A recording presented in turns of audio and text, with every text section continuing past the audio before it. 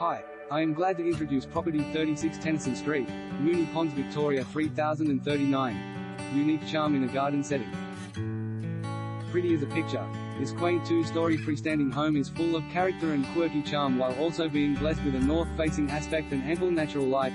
A chalet-style residence on its own title with off-street parking for two, enviably positioned on the city's edge close to CBD trams, Queen's Park, CityLink and all the delights of Puckle Street. Quaint chalet home on its own title open living with renovated kitchen huge loft-style bedroom private alfresco courtyard off-street parking for two offering stylish comfort with stunning timber feature elements. This one-of-a-kind home comprises large ground floor living, dining, a quality kitchen with Caesarstone benchtops and double oven cooktop, bright updated bathroom and top floor bedroom sanctuary with extensive built-in robes.